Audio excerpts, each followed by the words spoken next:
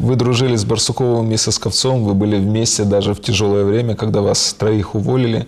Но потом в одном из интервью вы сказали, что ваши друзья скурвились. В чем это выразилось?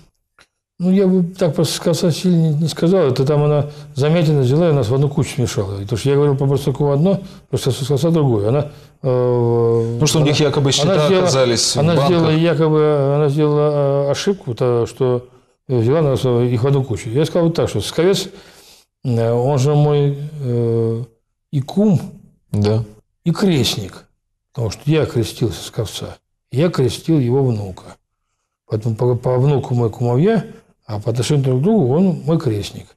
А э, вести себя так э, как бы неприлично по отношению к крестному отцу не положено. Надо все-таки иногда почитать своего крестного отца. Хотя нас почему-то в прессе по-другому говорит, что он наш крестный отец. Но это опять всегда слышали звон, не знаю, где он. Надо всегда обращаться к первоисточнику. Ну, сколько я знаю... Или, или к этой книге. По Барсукову я вам могу сказать, что это оказалось действительно. Пока Коржаков работал, они все равно прикрывались. И набили себе мошну. Почему до сих пор все рот не развивают? Молчат, все хорошие, и Бородин, и Барсуков, и все, они, все такие замечательные.